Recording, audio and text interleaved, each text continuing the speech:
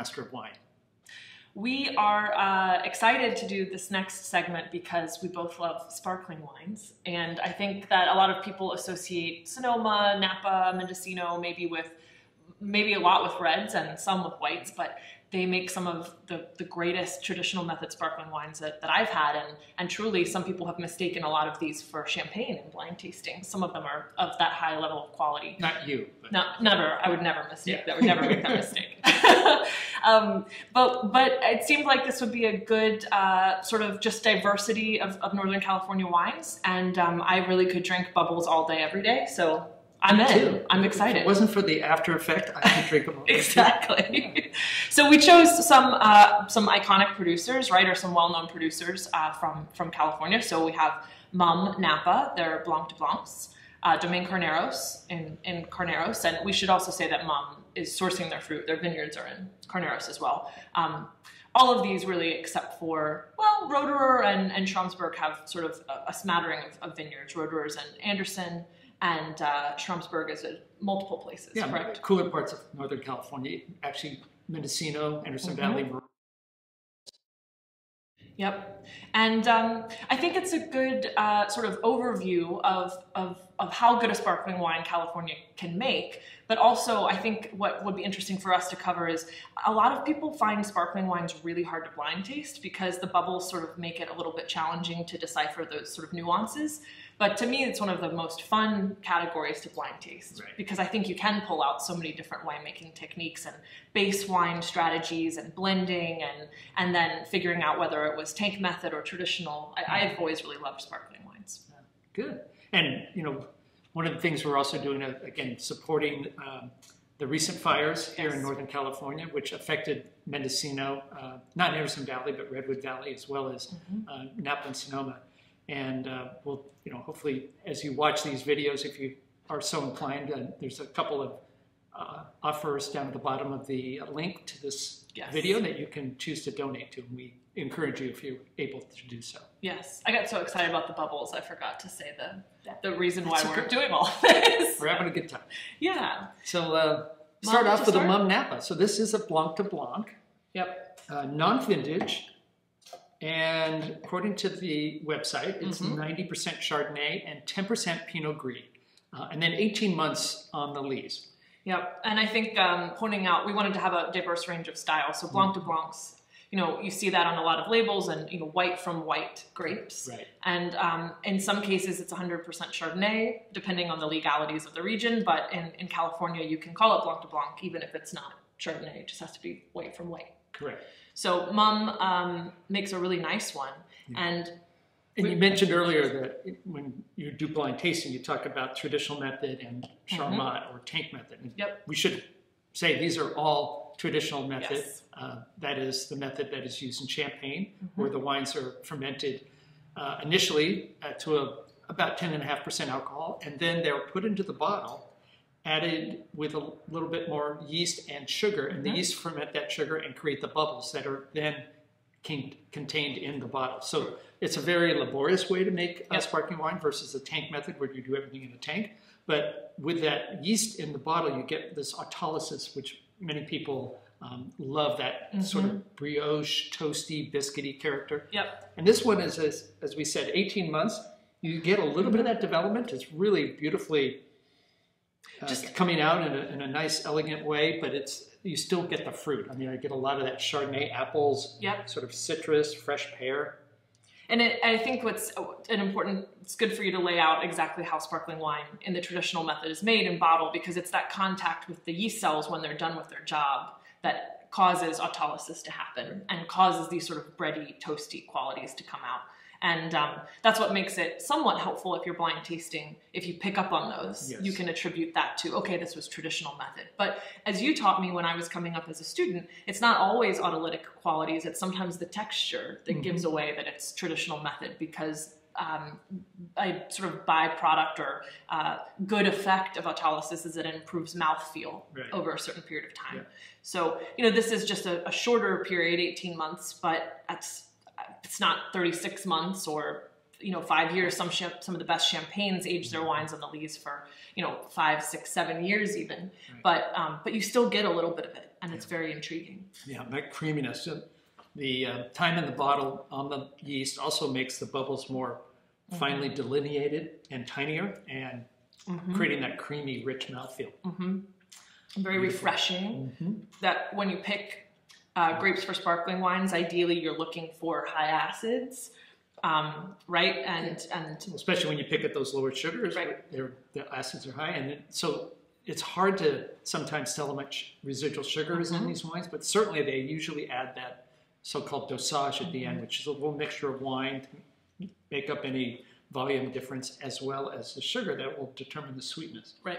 all of these wines are brut, Yep. which, which is saying they're less than 1.2% residual sugar or 12, 12 it- grams per liter, Yeah. uh, if you want to look at it in that measurement. And the, this wine, I don't know what the residual sugar is. I have to go look at the notes, but Mm-hmm. I don't Let's think see we if have them actually. But it Uh, seems around maybe I think it's a 1%? 10, 10 Oh, okay. Yep, 10 grams per liter of uh, for the dosage.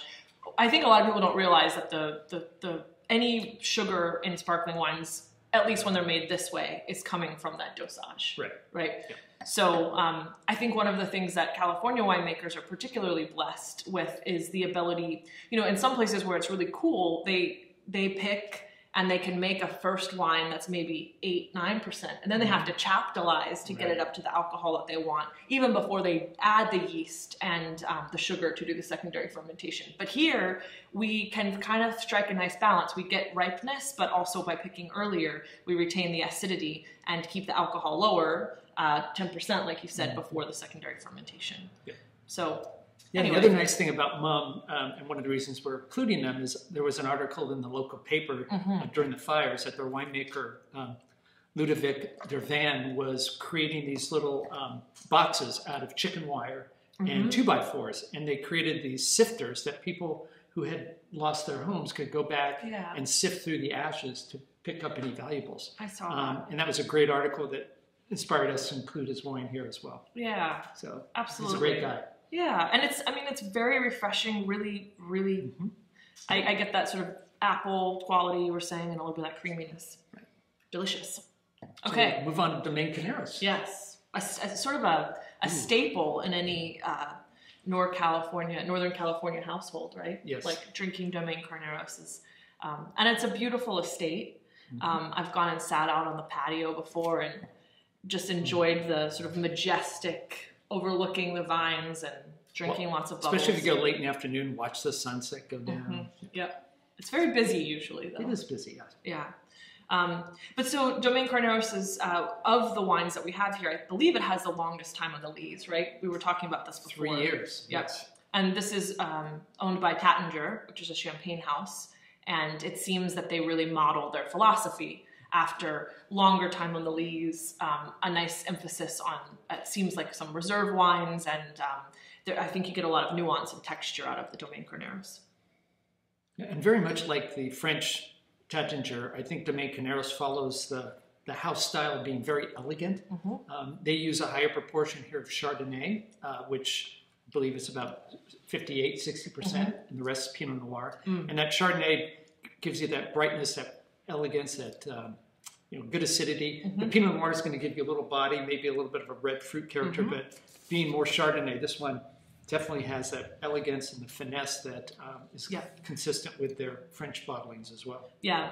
That would be a hard one because it's so close, like 60, 60 40. But I agree, there's a pucker, that sort of lemon zest. There's something a little bit more lemony and fresh and elegant. Yeah, when I look at the, when I'm blind tasting, if I'm trying to decipher between Chardonnay and Pinot, for me, Chardonnay, a little more brightness, more acid, let's call it, maybe a little more citrus, but also that green apple, more of a yellow apple. Whereas the Pinot Noir typically has a little more body, and then will also have, definitely gets a red apple. Sometimes you can almost get like a sour cherry note. Yep.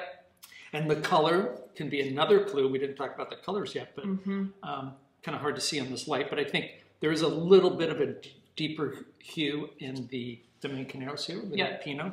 Um, there can be other things affecting color as well, but sometimes you can see a little more golden color when it's Mm-hmm. a red grape based cuvee. Yep.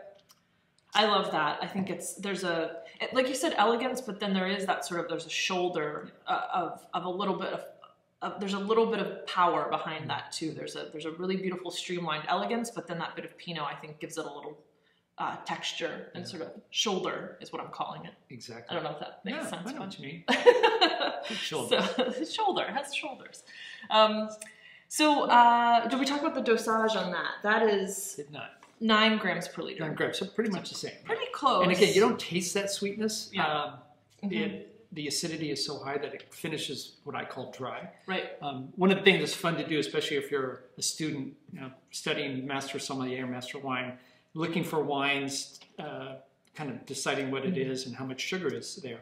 If you let the wines warm up and go, Mhm. s- let the bubbles subside, and then it almost tastes.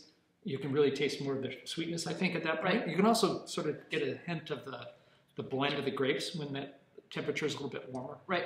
Well, and the bubbles mask that Yeah. sweetness too. They It's do, like you know if you're drinking a That's when you let it go flat. exactly. Yeah. And the other thing is, if you're looking for origin, I find that a lot of times after the wine um, has been in the glass, if it is a French champagne, for example, there is a certain minerality that comes through, Yeah. like a wet stone or almost a flinty character. Chalky. And in California, you tend to get, you can have that minerality, but you almost get a riper fruit, just a little bit more Mhm. uh, richness uh, from the California climate. Yep.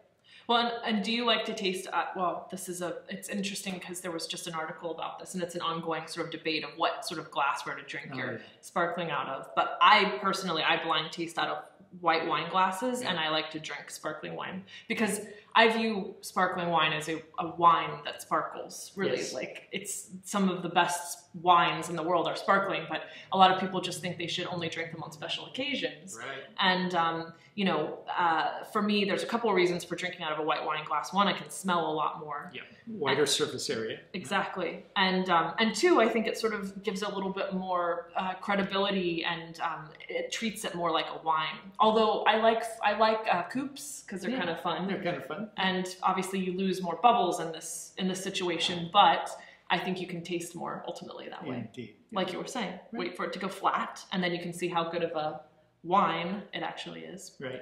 But I guess if you wait for it to go flat, then you've missed a lot of the fun. Yeah. You're not drinking fast enough if you let it go flat. Only do that if you're taking an exam.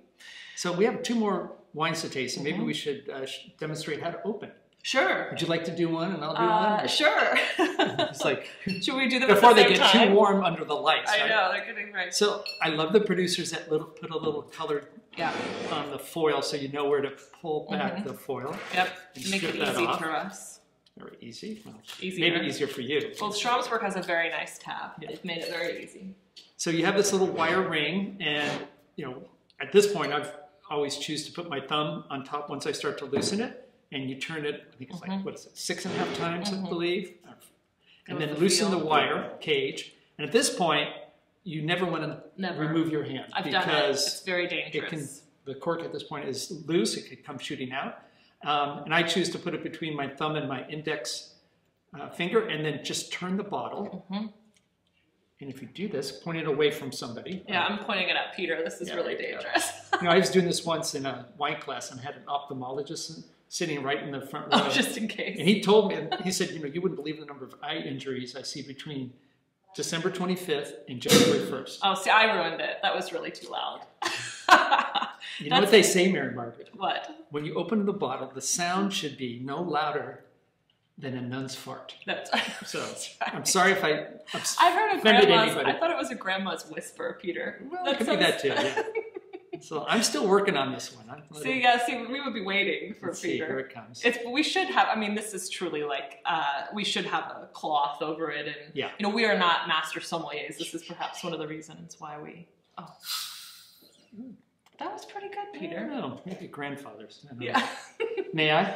yes, please. We are masters of wine, but we can open uh, sparkling wine bottles. I just do it. Not as well as a master sommelier. No, oh my lord, please. I'm sure that uh, one of them will watch at this point and laugh at the noise that my Schramsberg made. Exactly. And I hit the glass and all that. This sort of is thing. not good. But we are very good at drinking and We tasting. can do that.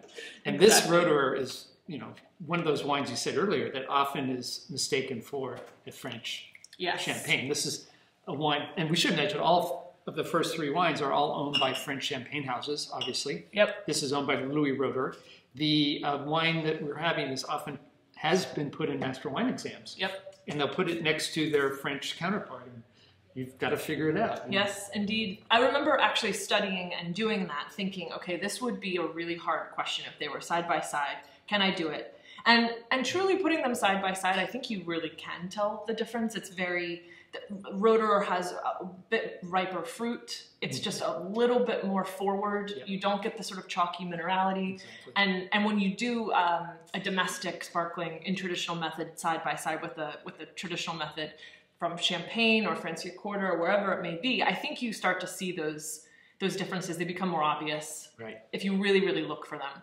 Um, but what I but but I mean I think Roederer is blocking malolactic fermentation. Pretty much, I think so. I think most people in California do Yeah. um, to keep that Keep it fresh. freshness. hmm And this is uh, primarily Pinot, I think, about 60 40. Um, Do you have the numbers there? hmm Uh, they- Mhm. Oh, no. Mhm. Yes. Okay. 60 40 Chardonnay and the min- minority here. a little bit. Exactly. But this is a wine that um, I always find is a little bit richer. And again, that's Louis Roederer style. Mhm. One of the things they do is they do have some, this is a non vintage. So some of the reserved wines have been aged in oak, adding maybe a little more texture, Yep. possibly a little hint of oak flavor, but I'm guessing they're older oak barrels. Yep.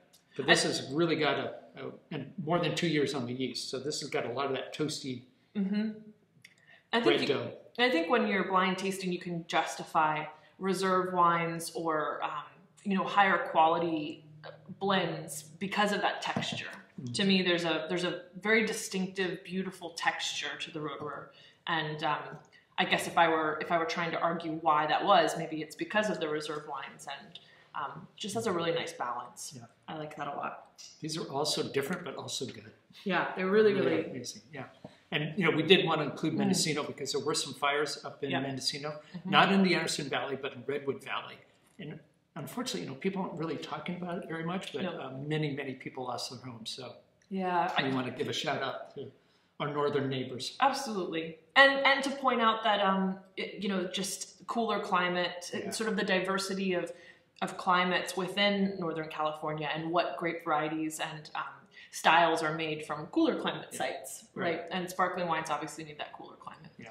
Um, And if you've never been to the Anderson Valley, it's a wonderful place to visit. I mean, there's so many, Mhm. mostly small wineries. Uh, Roederer is actually one of the bigger ones, Mhm. but there's just a uh, these pocket of wonderful locations for not only Pinot Noir, Chardonnay, uh, you know, Riesling, Gewürztraminer. Yep. There's some uh, even at the higher elevations you get a little Zinfandel, but it's great to uh, drive through the beautiful Anderson Valley if you ever have the chance. it's beautiful. It really, really is. And And go I, out to the coast and you know go to Boonville Mhm. and Mhm.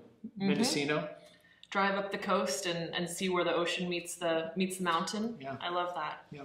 Um, yeah, Roederer is kind of a go-to for me too. I drink a lot of Roederer. Yeah. Um, so, and I think it's showing really nicely right now too. It sure is. Right out of the, right, just freshly popped. Yeah. A quieter pop than mine. So what do you think about this final one, Mm, this so- rosé? We had to include a pink. We did. right? So I think a lot of people know and recognize Schramsberg. Um, it's on, uh, you know, almost every wine list, it, all throughout Napa, Right. just because it's it's nice to have something that's a, a local, really high quality example. And uh, they make a range of wines, but the rosé I've always loved. I think it has this beautiful sort of salmon pink color that comes from that percentage of Pinot Noir. But in fact, this has um, it's, it has a proportion of Chardonnay too, and I think actually it's the majority is Chardonnay. So we just thought it would be interesting to point out that you know these, although uh, in some places people um, talk about high quality, you know, remember this debate about the best quality rosés aren't blends, right? Uh, you know, it has to be made from all red grapes. Well, in fact, some of the highest quality rosés from Champagne or other parts of the world are made by blending. Right. Um, that little hint of color comes from the Pinot Noir. Anyway, you you get a really high quality, beautiful sort of candied red Mhm. fruits, raspberry, and that little hint of autolysis. Almost like those sour cherry candy, those hard candies, you know, Mhm. that you get. I forget what they're called, but Mm-hmm. and then this wine does have a little barrel fermentation too. Mhm. Uh, I think forty-three percent is barrel fermented, Mhm. and when you taste it, Yep. there's certainly more depth and breadth on the palate. Yep. really has a richness and a fullness. It almost drinks like a like a lighter Pinot Noir. like a light red wine. Mhm. And the the fruit source 39% from Napa, 33% Sonoma, 16 Marin, and 12% Mendocino. Okay, So really a, a Yeah. smattering of all these best beautiful of the best. best of the best. Yeah. Um, very dry uh, to me, really long finish, beautiful texture of bubbles. Um, and I just love drinking sparkling pink wines. I just love them. We, we need something to eat right now. I mean, this is like hmm my gastric juices are going.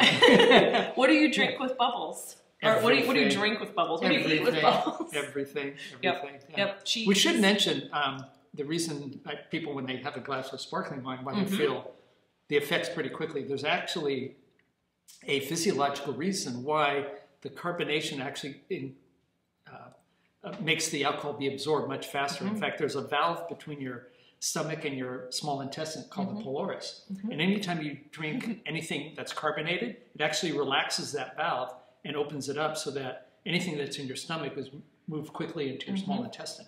Now, alcohol is absorbed slowly through the stomach lining, but once it gets into your Mhm. small intestine, then it's like you know pedal to the metal. so what happens is that if you drink something sparkling, it's carbonated, it quickly goes into your small intestine, and then you feel it more quickly. Yep. Um, that's the same reason why when people drink water, I always recommend you know drink as much water as wine, but I always go for still wine. Yep. Because the carbonated wine is just going to get you drunker faster. Right, exactly. Which can, you know, I love that sort of the feeling of the first glass of bubbles. Yeah. But obviously, yes, drink with caution and know that it, it's going to speed things up a bit. Hmm. Um, I, I just feel like um, sparkling wine is so much fun, and I really would like to see more people drinking it on a regular basis and not just waiting for their birthday or for Christmas or for New Year's. And um, even though these are all from the same state and very close by, by all intents and purposes, you have just such a diverse range of styles, and they're varying levels of of dryness to a certain extent, although they're all dry. There are varying levels of autolytic qualities. To me, I actually got more. To me, I felt the autolysis the most on the Domaine Carneros. Mhm. Um, and there's varying levels of elegance and focus versus more breadth and richness, depending on the blend. Um, and there's just so much that you can do with sparkling wine. Yeah. I And can't. the other thing is, you can spend about seven dollars, maybe ten dollars, buy a champagne stopper. Mhm.